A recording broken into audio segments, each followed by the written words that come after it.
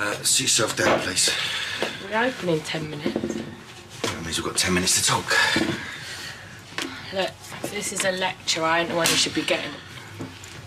No, I'm just trying to be neutral. You know, just look at me as a bearded Switzerland. You should be on my side. Like, I kissed a guy and she whacked him around the head. That's embarrassing. No, I.